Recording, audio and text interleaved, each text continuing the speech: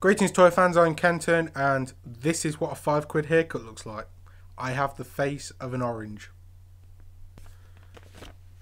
Uh, Uncle Absinthe sent me some tea tokens, he told me to make a video. Not sure why.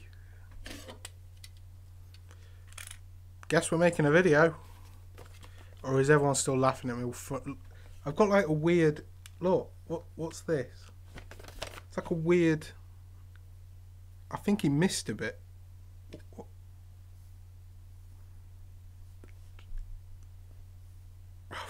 Anyway, ignore that.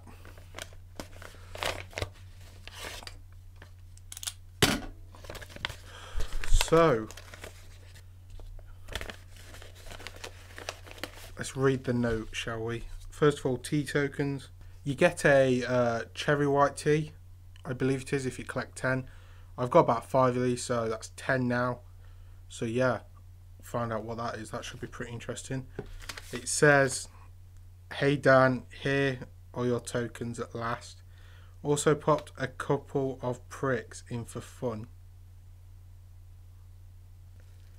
Oh, badgers. Oh, these are the, um,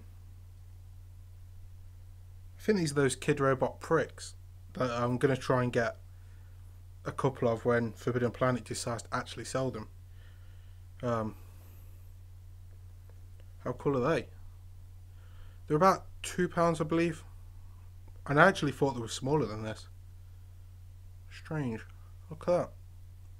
They actually have some weight to them, which is crazy. They kind of feel like the Doktor A ones.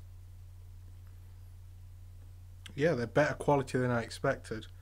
Um, I did say in my blog on my website that I kind of feel like they should have done an artist series. So maybe a school head or a Doktor A Mechtorian, something like that.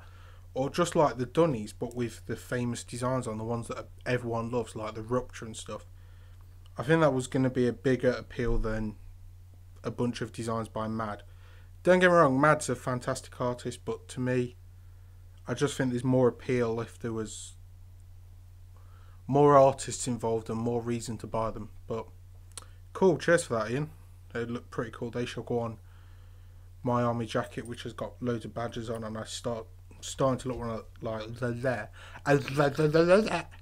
Uh, yeah, they're gonna go on my jacket, and I'm starting to look like one of those weirdos with Scarborough and Skegness badges all over themselves with a little bit more finesse, shall we say. Anyway, I'm going to go fix this little pointy bit here. I shall see you guys later.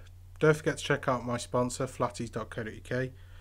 Uh, follow me on Twitter at Designer Toys UK, Facebook Designer Toys UK, and as always, check out the website www.designertoysuk.co.uk. Starting to remember it now. Feel free to subscribe, like, favourite the video, and share. And I'll see you soon. A couple of reviews that I filmed earlier will be going up in the next couple of weeks. Um, see you soon, guys. Take care. Bye.